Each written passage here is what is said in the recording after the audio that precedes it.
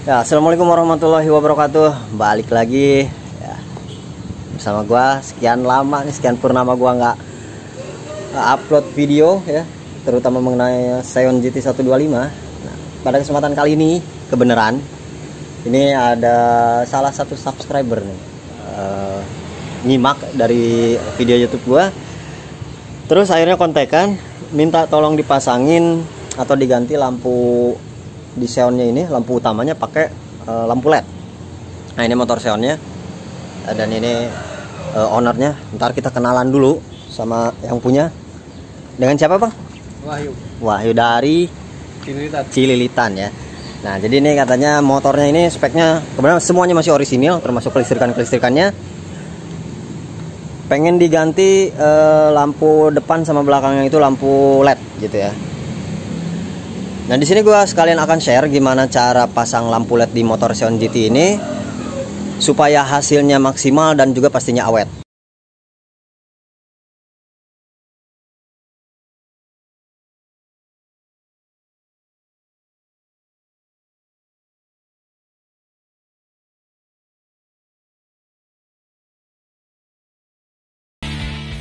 Nah ini dia yang harus disiapin di sini ini untuk spek lampu lednya pakainya yang punya nih udah nyiapin sendiri. Model kayak gini nih yang nggak pakai balas atau kipas dia yang langsung colok.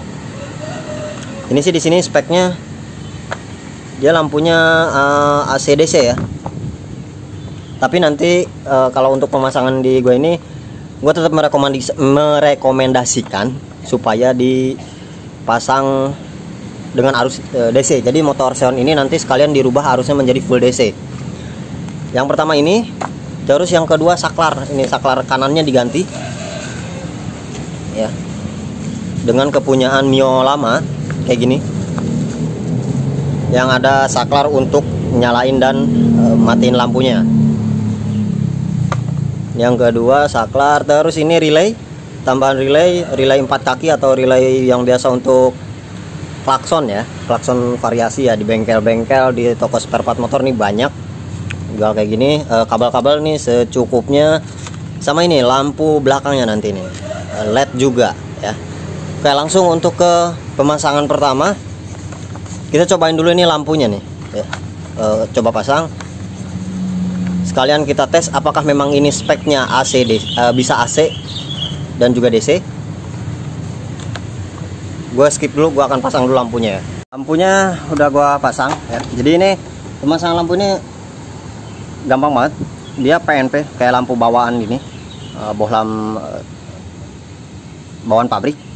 Jadi ini tinggal colok doang tanpa ngerubah-rubah lagi atau nyambung-nyambung lagi kabelnya. Nah kita tes dulu nih untuk nyalanya.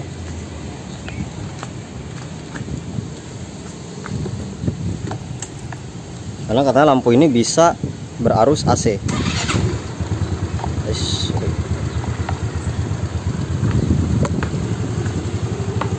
Nah ya emang nyala ya tapi bisa dilihat nih kedap kedip dia. Terus lampu jauhnya juga nggak mau. Cuma lampu deket doang yang kuningnya. Ini lampunya speknya nih dua warna kuning dan putih. Lampu dekatnya kuning, lampu jauhnya putih. Nah jadi ini memang harus dipasang secara DC.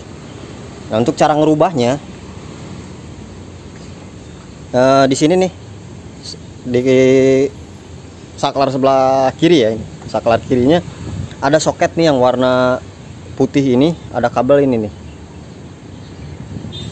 Sorry nggak fokus.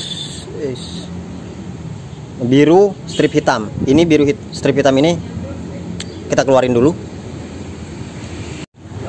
Nah ini sekunnya udah gue cabut yang warna kabel biru strip hitam ini. Gue sambung kabel masuk ke sini nih ke soket merah yang isinya dua kabel ini nih. Ada kabel hijau strip kuning dan kabel coklat polos. Nah dari kabel sambungan ini masuk ke coklat yang polos. Ini hanya untuk tes nyalanya dulu tes nyala lampunya dulu belum ke rangkaian relay dan juga saklar. Nah, sekarang kita tes. Kontak kita on. Nah, ini lampunya udah bisa nyala ya. Manteng nggak kedap kedip kayak tadi. Tanpa harus nyalain mesin dulu. Ini lampu dekatnya. Ini jauh. Jauhnya putih. Kayak gitu ya. Jadi itu untuk uh, tes nyala lampunya dulu. Nah sekarang lanjut ke tahap pemasangan perangkaian relaynya.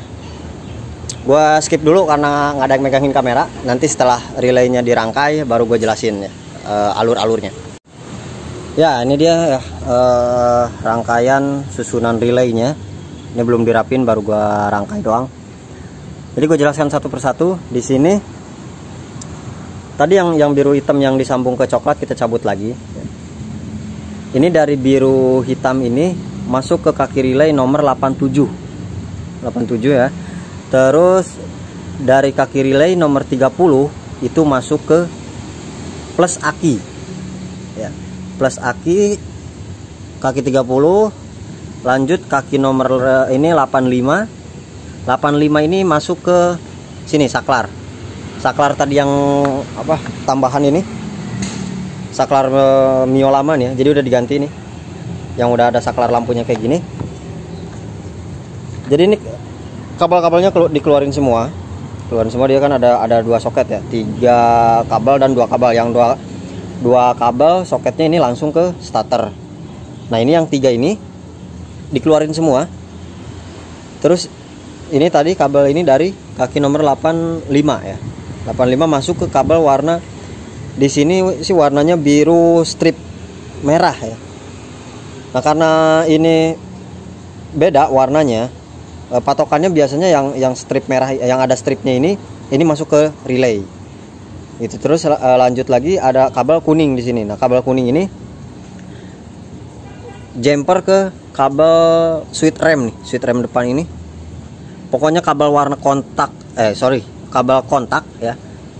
Yang warna coklat yang ada di motor uh, mau ke sini atau misalkan ke soket di sini juga nih ada kabel ini bisa gitu ya. Yang penting ini yang kuning ini masuk ke coklat polos. Nah tinggal sisa satu kabel ini. Ini nanti untuk ke lampu senjanya supaya bisa dimatiin juga dari saklar sama yang bagian belakang. Satu lagi yang terakhir ini sorry relaynya kaki relay. Satu lagi kelewat nomor 86 nih. 86 ini masuk ke negatif aki ya. Jadi gitu ya gue ulangi sekali lagi untuk relaynya. Dari kaki 30 masuk ke positif aki kaki 86 masuk ke negatif aki kaki 87 masuk ke kabel biru strip hitam yang dari saklar putih ini yang dikeluarin ya. Ini kan dari sini biru hitam ini keluarannya ini nih Eh, kuning strip merah. Ini jadi kuning strip merah ini udah diga, udah nggak dipakai lagi. Yang terakhir ini kabel nomor 85 masuk ke saklar eh, baru ya. Kabel yang ada stripnya. Dari saklar ada kabel polos kuning masuk ke output kunci kontak atau kabel warna coklat di motor Yamaha. Nah sekarang kita tes dulu nih untuk saklarnya. Oke ini kunci kontaknya gua on. Posisi saklar ada di paling kanan ya mati. Ini ya kita lihat lampunya. Masih mati ya. Terus geser sekali ini juga lampu senjanya karena belum disambung ya belum nyala. Nah, ini geser lagi sekali. Nah baru dia nyala untuk lampu dekatnya dan ini lampu jauhnya.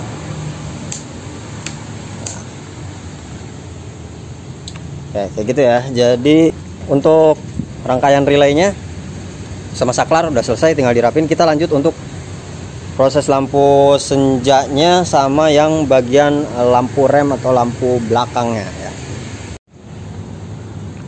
Oke ini untuk lampu belakangnya. Ini kan yang bawaannya ini bohlam biasa diganti dengan model lampu led kayak gini led jagung. Ini harganya sekitar 15 ribuan lah di toko variasi. Sekarang kita tes dulu. Ini warnanya putih ya jadi ini karena siang jadi nggak begitu kelihatan. Nah tuh. Ini cuma remnya aja yang bisa. Tapi uh, senjanya walaupun ini dinyalain mesinnya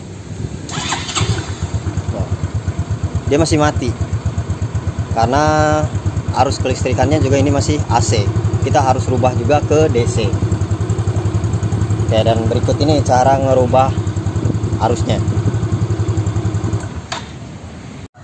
Nah, jadi cara untuk yang bagian belakang ini, ini kan soket eh, lampu belakangnya ya. Ini udah lepas. Terus di sini ada kabel warna kuning. Nah, yang warna kuning ini kita lepasin, keluarin skunnya ini. Terus sediain tambahan kabel kayak gini. Nah, ini udah gue sambung skun baru nih. Sediakan kabel yang panjang yang bisa nyampe ke depan sini. Nah sambung ke kabel biru yang dari saklar ini tadi yang belum disambung Terus dari sini dicabang lagi Sambungan Kabel lagi nih Masuk lagi ke sini. Ini soket lampu utama ya. Ini batok lampu utama itu udah, udah gue lepas.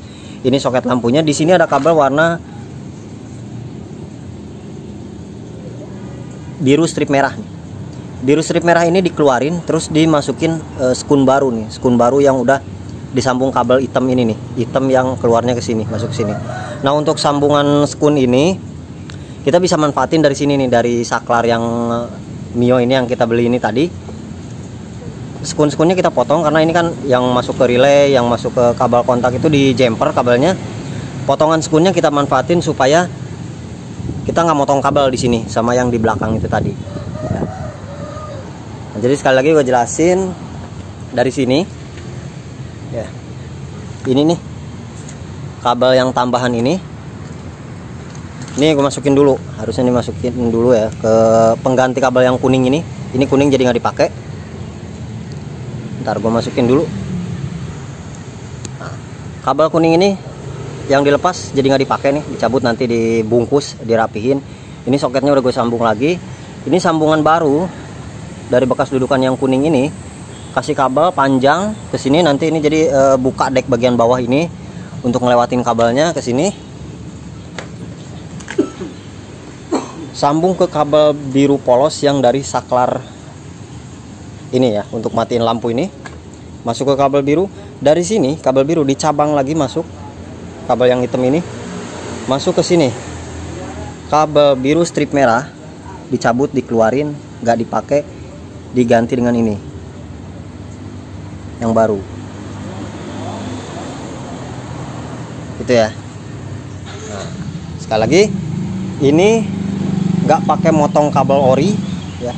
Cuma di jumper sama e, ganti posisi skun aja. Skunnya kita bisa manfaatin dari sini nih. Ini potong yang ini dipotong ya, untuk dimanfaatin ke sambungan baru. Oke sekarang gua akan e, rapikan dulu semuanya. Akan gua rangkai dulu nanti. Kita tes hasil akhirnya oke dan ini untuk hasil akhirnya udah gua rapihin semua. Kabel-kabelnya tinggal bagian batok sama uh, tamengnya dong belum gue pasang nah sekarang tes dulu untuk hasil akhirnya ini ya. Ini saklarnya posisi mati ya. Kontak gua on. Bisa kita lihat sini lampu ini mati ya. Bang sorry boleh minta tolong geser sekali saklar yang saklar nah itu. Oh ya sekali geser. Nyala ya. Rem. Remnya? Nah dia remnya ngedip. Oke. Kita lihat yang depan. So, sorry matiin dulu. Oke. Ini lampu depan juga mati. Uh, geser lagi sekali bang. Nah, nyala ya. Geser lagi sekali lagi. Nah ini lampu uh, depan. Ini dekatnya dan ini jauhnya putih dekat uh, kayak gitu hasilnya dan ini untuk posisi relaynya nih. Posisi relay gua pasang di sini nih. Bareng dengan dudukan ini nih. Apa? Speedometer. Relaynya ada di sini. Jadi saat di matiin ini pas nyala tuh dia bunyi. Nah gitu ya. Tuh. Dari sini dari saklar ini jadi kalau kayak gitu udah berfungsi semuanya. Matiin dulu bang. Uh, di starter. Uh, mesin mesin mesin nyalain.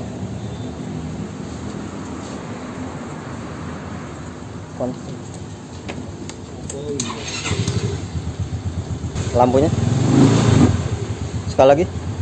Nah ini sekarang saya lihat manteng ya e, mesin nyala jadi nggak kedap-kedip kayak tadi yang pertama sebelum ditambahin relay dan saklar. Ini lampu jauhnya juga tuh jadi nggak ada kedap-kedip nah fungsinya relay itu seperti itu supaya nyala lampunya lebih stabil dan lebih bagus. Nah saklar sendiri di sini e, ini untuk supaya beban aki nggak terlalu uh, gede saat kita mau nyalain motor terutama pagi. Misalkan kayak gini ini gua kontak. Posisi langsung nyala. Tuh uh, lampunya kelihatan ya yang kuning itu. Nah, nah sinar kuning kalau misalkan kita langsung nyalain begini nah ngedip ini berpengaruh ke beban aki. Tapi kalau ditambah saklar ini starter jadi lebih enteng.